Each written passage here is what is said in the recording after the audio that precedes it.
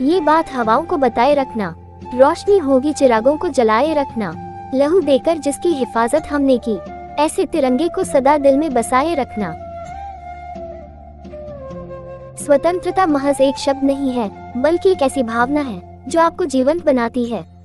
भारत भूमि की इसी स्वतंत्रता के लिए, भारत के न जाने कितने महान स्वतंत्रता संग्राम सेनानियों ने प्राणों की आहुति दी थी। आज उन्हीं के बलिदान की बदौलत पूरा भारत देश फल फूल रहा है। इसलिए स्वतंत्रता दिवस के पर्व पर इन भारतीय शहीदों का स्मरण करने के साथ साथ हमें इस देश को अपनी माँ समझे, सदा इसे सर्वोपरि रखे। प्लानेट आई के संचालक अभिषेक सिंह गहरवार एक परिवार की ओर से। क्षेत्र वासियों प्रदेश वासियों एवं देशवासियों को 15 अगस्त स्वतंत्रता दिवस की हार्दिक हार्दिक बधाई एवं शुभकामनाएँ।